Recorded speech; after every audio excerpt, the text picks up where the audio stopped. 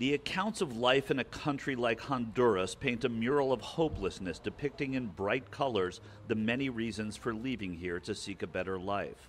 Mainly, the decision of migrating is acknowledging that you don't have the conditions to live with human dignity in the country. Y la falta de empleo hace Jobs are scarce for everyone in the country. O sea, hay mujeres que están enfrentando esas situaciones que These women facing this situation are living a nightmare. There- There is a breaking point, and, and, and society is tired. Uh, society is tired, and, and we have no hope. These are the roots of migration, a despair that leads to departure, like the gender based violence that social researcher Rocio Walkiria says is prevalent. muchas mujeres hondureñas So many Honduran women who are dealing with domestic violence decide to migrate away from that situation. es triste la migración. Hector Lainez, a Methodist pastor in Ciudad España outside the capital of Tegucigalpa, sees an economic problem. Ha bajado The loss of jobs nationwide is a huge reason for people to continue to migrate. And then there are the gangs that mercilessly prey on young boys and men. Y a los 13 años un At 13, a friend of mine started teaching me some bad ways on the street. I started as a lookout. They saw potential in me and told me I should be part of them because I was sharp. Carlos is a former gang member or pandilla who found God and left the streets but not the country. hay personas que tal vez tienen problemas y Many times, these people got involved with the gangs and it doesn't end well. Maybe the gangs are looking to kill them and decide to migrate. Some other times, gang members who are at war with other gangs decide to leave before they get killed.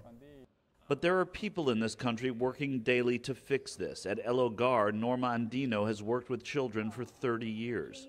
Eso es parte de lo que nosotros trabajamos. It is definitely part of our goal to help these kids thrive in their country. El Hogar is a boarding school catering to kids like Guillermo, who says that he has nothing back home in San Pedro Sula, but still he wants to stay in his country. They also have a technical school where a student was receiving an auto mechanic lesson while we were there, learning a trade when there may not be a job. While there is hustle and bustle and life in places like Villanueva Cortes here in Honduras, there is also the idea that so much has to do with the poverty in this country.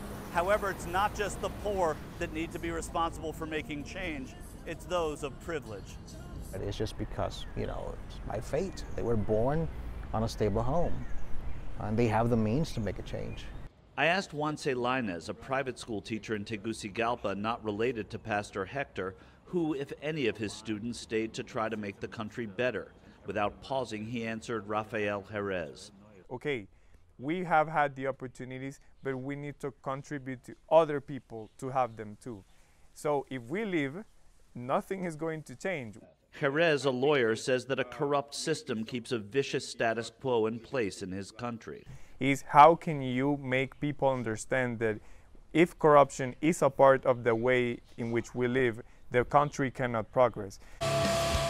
In a land of so much juxtaposition, Lainez the teacher is also, of course, a bassist in a heavy metal band, Delirium. Heavy metal relates exactly to this place for so many reasons.